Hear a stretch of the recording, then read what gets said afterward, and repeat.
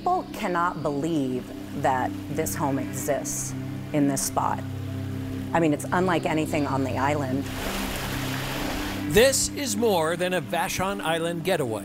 It's a three acre sanctuary that comes with a guest house, extraordinary views, and in the middle of it all, a mid century modern masterpiece. Someone who appreciates mid century architecture is going to come in and just absolutely fall in love. That's what happened five years ago. And we walked in the front door, and I saw the sunken living room, and then I saw the wet bar, and I thought I needed to have this house. Caffe Vita owners Mike and Liz McConnell bought the property in 2015. I needed a place at the time where I could kind of disappear, and, and um, this place gave me that. Gave us some peace. They've acted as stewards, preserving the home like a 1970s time capsule. It's all nostalgia. People that walk in here are taken away.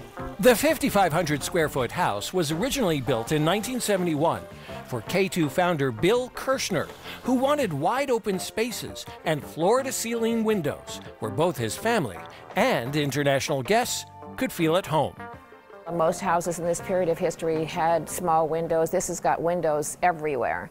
In one window, a gift to the K2 founder remains. And every person that comes in this house walks up to that ship's wheel and starts steering it like they could just take this house wherever they want to go. Mike and Liz brought life to the big house, hosting families and famous musician friends. I think a lot of people had a lot of fun in this house. They also brought some rock and roll touches. Like the pinball machines in the game room. Those will leave with the McConnells, but David Bowie stays. We were probably listening to some Bowie and walking around and thought it made sense to put something Bowie in the bottom of our pool. Seattle Artist 1000 needed five days and gallons and gallons of swimming pool paint to create this striking image.